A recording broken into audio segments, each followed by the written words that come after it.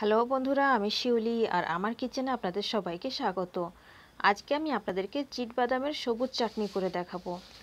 এটা আপনার রেগুলার খাবারের সঙ্গে একটু একটু করে সার্ভ করলে দেখবেন যে খাবারের স্বাদটা একেবারে দুগুণ হয়ে গেছে। চটপট রেসিপি দেখে নিচ্ছি। আমি এখানে এক বাটি মুংফলি নিয়েছি মানে চিটবাদাম নিয়েছি। এটা হলো কাঁচা চিটবাদাম। কাঁচা বলতে কাঁচা মানে হচ্ছে পাকেনি এখনও জমির থেকে এখনই কাঁচা কাঁচা তুলে এনেছি আর ছাড়িয়ে নিয়েছি। আমি আপনাকে গোটাগুলো দেখিয়ে দিচ্ছি, আপনি বুঝতে পারবেন। এই দেখুন, একেবারে ভেজা রয়েছে আর মাটিও রয়েছে, মাটিও দেখতে পারবেন।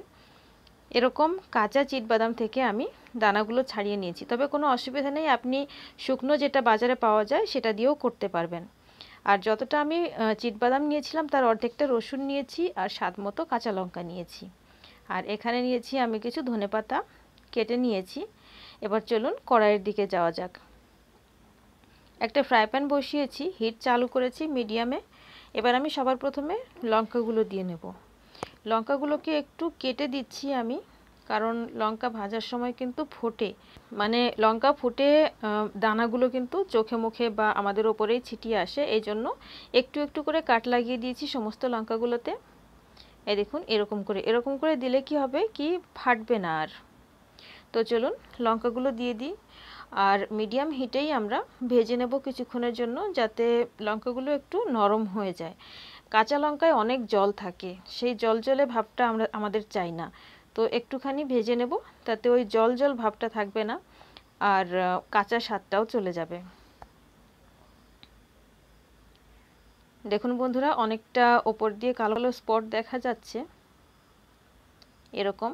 এখনও পুরোপুরি নরম হয়নি, একেবারে কাঁচা গন্ধটা যায়নি, তো এই অবস্থায় আমরা এর মধ্যে রসুনগুলো দিয়ে দেব।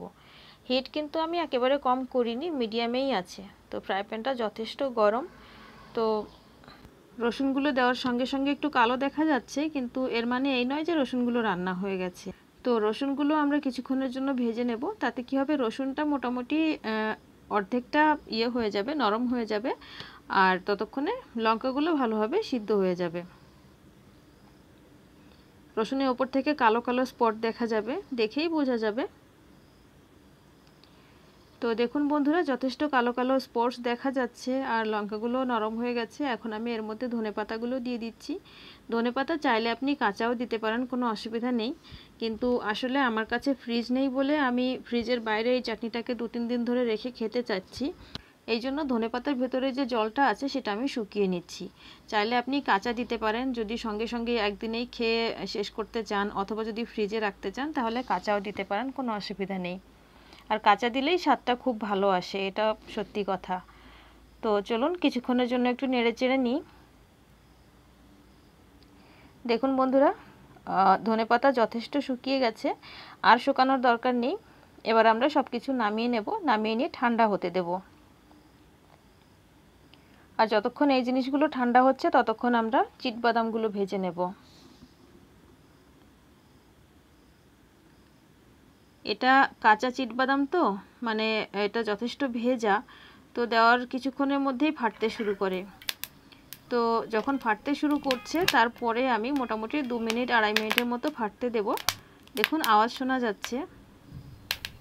আর আপনি যখন শুকনো চিটবাদামগুলো ভাজবেন, তখনও কিন্তু যতক্ষণ না ফাটতে শুরু করে ততক্ষণ পর্যন্ত ভাজবেন। আর ফাটতে শুরু করলে এক দেড় মিনিটের মতো ফাটতে দেবেন, এরকম নাড়াতে থাকবেন, তারপরে নামিয়ে নেবেন। আমি নামিয়ে নিয়েছি, দেখুন।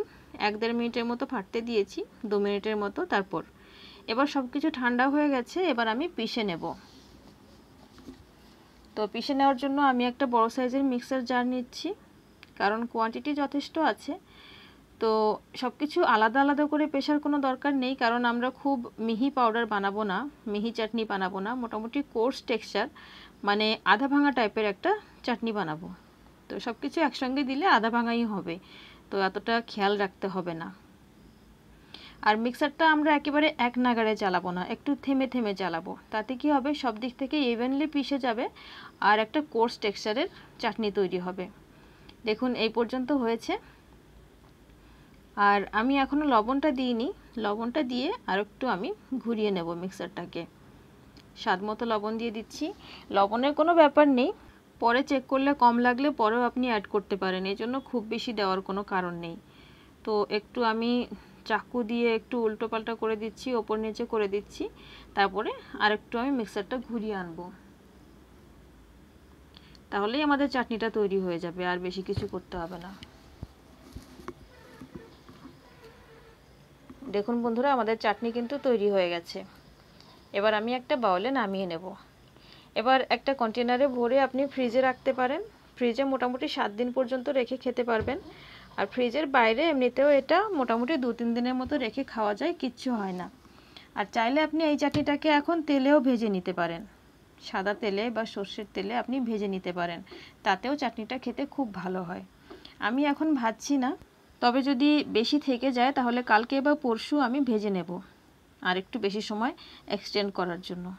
তো দেখুন বন্ধুরা, চাটনি কিন্তু তৈরি হয়ে গেছে, ভীষণ টেস্টি চাটনি। যে কোনো ধরনের ভাত, সবজি বা যে কোনো রুটি, সবজি, যা কিছুর সাথে আপনি একটু একটু করে এই চাটনিটা সার্ভ করুন, সবাই খুব এনজয় করবে। অবশ্যই রেসিপি ট্রাই করবেন আর ট্রাই করলে জানাতে ভুলবেন না যে আপনার কেমন লাগল। ভিডিও দেখার জন্য অনেক